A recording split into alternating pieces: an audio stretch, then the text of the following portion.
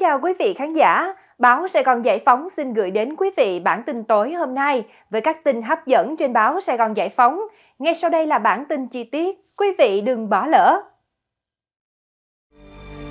Chiều ngày 21 tháng 5, thay mặt Ủy ban Thường vụ Quốc hội, Tổng thư ký Bùi Văn Cường trình bày tờ trình đề nghị điều chỉnh chương trình kỳ họp thứ 7. Theo tờ trình, căn cứ ý kiến của cấp có thẩm quyền, thực hiện quy định của pháp luật và yêu cầu kiện toàn bộ máy nhà nước sau khi xem xét đề nghị của Thủ tướng về việc bổ sung nội dung phê chuẩn, đề nghị miễn nhiệm chức vụ Bộ trưởng Bộ Công an, tiến hành cùng với nội dung nhân sự chiều ngày 21 và sáng ngày 22 tháng 5, Ủy ban Thường vụ Quốc hội trình Quốc hội xem xét quyết định. Ngay sau đó, Quốc hội đã biểu quyết tán thành việc điều chỉnh chương trình kỳ họp thứ 7 với 468 trên 469 đại biểu tham gia biểu quyết tán thành, chiếm 96,1% tổng số đại biểu Quốc hội. Trước đó Trung ương đã giới thiệu Đại tướng Tô Lâm, Ủy viên Bộ Chính trị, Bộ trưởng Bộ Công an, để Quốc hội bầu giữ chức Chủ tịch nước.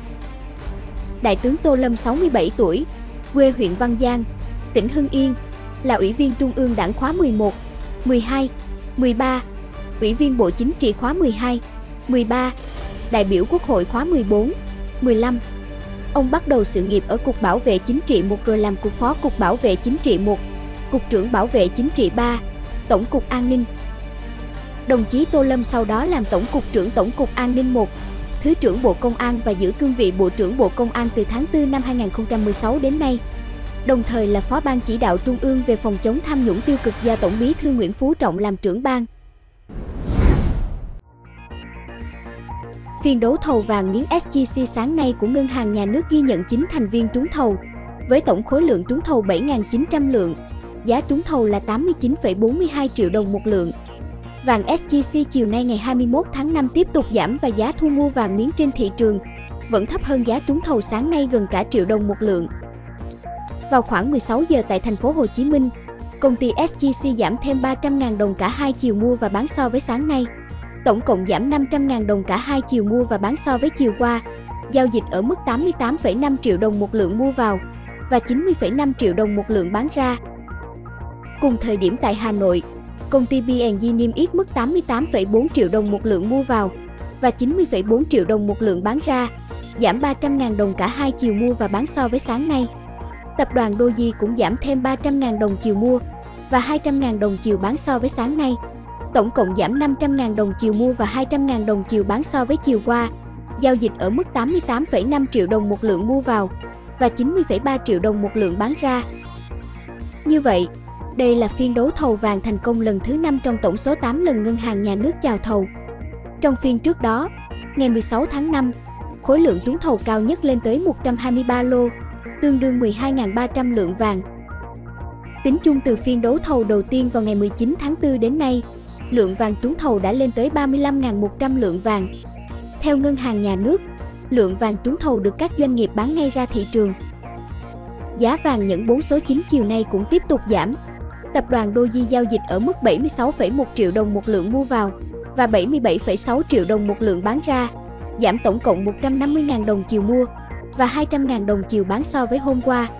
Công ty SGC niêm yết ở mức 75,55 triệu đồng một lượng mua vào và 77,25 triệu đồng một lượng bán ra, giảm tổng cộng 200.000 đồng cả hai chiều mua và bán. Trên thị trường vàng thế giới, Giá vàng giao ngay trên sàn Kitco chiều ngày 21 tháng 5 giờ Việt Nam ở mức 2.418,1 đô la Mỹ một ounce, giảm 12 đô la Mỹ so với sáng nay. Mức giá này sau quy đổi tương đương 74,2 triệu đồng một lượng. Hiện vàng thế giới đang thấp hơn vàng SJC khoảng 16,3 triệu đồng một lượng và thấp hơn vàng nhẫn 4 số 9 khoảng 3,4 triệu đồng một lượng. Chiều ngày 21 tháng 5, đại diện Bệnh viện Nhi Trung ương cho biết, bé trai D, 14 tuổi, học sinh lớp 8 trường trung học cơ sở Việt Hưng, Long Biên, Hà Nội là nạn nhân trong vụ hành hung trẻ em ở phường Việt Hưng gây phẫn nộ dư luận đã tử vong vào trưa cùng ngày. Theo đại diện Bệnh viện Nhi Trung ương, bệnh nhi D tử vong với chẩn đoán suy chức năng đa cơ quan, sốc nhiễm khuẩn, chấn thương sọ não nặng. Trước đó khi tiếp nhận bệnh nhân chuyển từ Bệnh viện Đa khoa Phú Thọ, Bệnh viện Nhi Trung ương đã tổ chức hội đồng chuyên môn hội chẩn cùng các chuyên gia hồi sức cấp cứu, phẫu thuật thần kinh, hồi sức ngoại khoa và các chuyên khoa liên quan, đến từ Bệnh viện Bạch Mai, Bệnh viện Việt Đức, cùng các chuyên gia của Bệnh viện Nhi Trung ương. Qua đó thống nhất chẩn đoán bệnh nhân suy chức năng đa cơ quan, sốc nhiễm khuẩn, hôn mê sâu sau chấn thương sọ não nặng. Tình trạng bệnh nhân rất nặng, tiên lượng rất xấu. Bệnh viện đã thống nhất các biện pháp điều trị hồi sức tích cực như thở máy, hỗ trợ tuần hoàn, lọc máu, kháng sinh và các biện pháp hỗ trợ chức năng nhưng không mang lại kết quả. Qua điều tra của cơ quan công an, chiều ngày 17 tháng 3, em D ra sân đình Lệ Mật ở phường Việt Hưng chơi bóng rổ. Trong lúc chơi, em D nảy sinh xích mích với một bạn tên là K, học sinh lớp 6. Lúc này, K chạy đi gọi anh trai là Trương Văn Minh, sinh năm 2008, ở phường Việt Hưng để nhờ giải quyết mâu thuẫn. Sau đó, Minh đã đấm cháu D ngã ra đất dẫn tới chấn thương sọ não, hôn mê sâu. Đặc biệt khi Minh ra tay với em D thì anh Tê bố đẻ của anh em Minh, có biết và chứng kiến sự việc. Trước vụ việc này, trên cơ sở điều tra xác minh với các chứng cứ, tài liệu thu thập được, cơ quan cảnh sát điều tra công an quận Long Biên đã khởi tố vụ án, khởi tố bị can và lệnh bắt tạm giam đối với Trương Văn Minh để điều tra về hành vi cố ý gây thương tích và tiến hành điều tra, xác minh làm rõ có đồng phạm trong vụ án này hay không. Ngày 21 tháng 5, thông tin từ bệnh viện chợ Rẫy, thành phố Hồ Chí Minh, bệnh nhân T, 31 tuổi, ngụ Bình Thuận đã có những chuyển biến tích cực sau 2 ngày điều trị. Anh T được cấp cứu tại bệnh viện vào chiều ngày 19 tháng 5 trong tình trạng lơ mơ, bức rứt, có cơn co giật, tự thở oxy qua mát, nước tiểu có màu nâu sậm. Sau hội chẩn, bệnh nhân được chuyển đến khoa hồi sức cấp cứu, được xử trí bù dịch, kiềm hóa nước tiểu, dùng thuốc chống co giật và tiến hành lọc thận chậm CRRT. Theo tiến sĩ bác sĩ Phạm Minh Huy, khoa hồi sức cấp cứu, người bệnh bị hội chứng ly giải cơ vân do vận động nặng khi chạy marathon. Đến ngày 21 tháng 5, bệnh nhân tỉnh táo, không còn co giật, tự ăn uống được, sinh hiệu ổn, mạch khoảng 60 lần một phút, huyết áp 110 trên 70. Tuy nhiên chức năng thận chưa hồi phục, vẫn đang lọc thận. Người bệnh sẽ được theo dõi thêm 2 đến 3 ngày để tình trạng ổn hơn.